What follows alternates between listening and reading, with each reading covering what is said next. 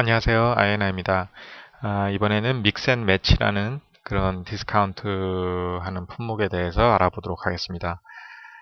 아, 이제 그거는, 이거는 mix and match는 그, 2 for 1, 이제 2 for 얼마, 이제 그런 디스카운트인데요. 이제 보통 칩에서 가장 많이 하는데, 아, 칩이 이제 종류가 여러 개이다 보니까 UPC 코드가 틀리고, 그래서 틀린 거를 섞어서 사도 사실 두 개 사면 이제 디스카운트를 해주는데 그게 이제 시스템 상에서 그렇게 하려면은 그 그룹을 같이 맺어줘야 인식을 해서 그게 이제 2 for 얼마 이게 적용이 되거든요.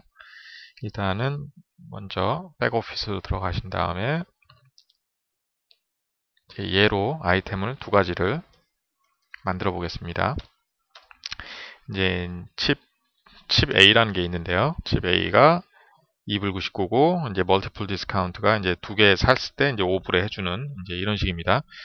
이런 식인데 save를 하고요.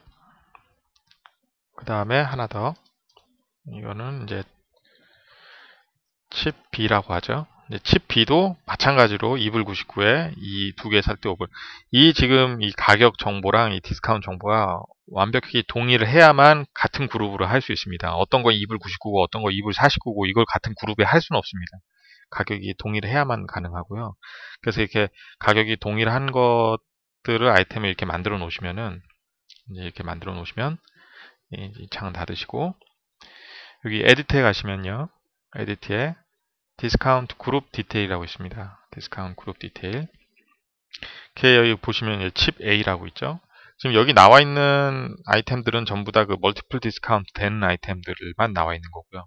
일단 칩 A를 한번 클릭을 하겠습니다. 칩 A를 클릭을 하면은 이제 이거하고 같이 그룹이 될 수 있는 것들 리스트가 여기 뜹니다. 그래서 이 뜬 리스트 중에서 그룹을 하시고 싶은 것만 더블 클릭을 하시면 됩니다. 그래서 예를 들어서 이제 칩 B랑 여기다 더블 클릭을 하시면은 보시면 이제 이 칩 A, B가 이제 같은 그룹으로 됐습니다. 이제 이렇게 같은 그룹으로 되고 나면은 세일즈 하실 때 칩 A를 사고 아직 2불 99 디스카운트 해서 5불인데 그냥 2불 99죠. 그 칩 B를 샀을 때도 서로 이제 같이 인식을 같은 그룹으로 인식을 해서 이제 이 regular price가 아닌 2불 50 합해서 5불 2 4 5불이죠 이제 이제 이런 식으로 디스카운트가 됩니다. 이게 이제 mix and match라는 그 디스카운트 그룹을 만드는 방법입니다.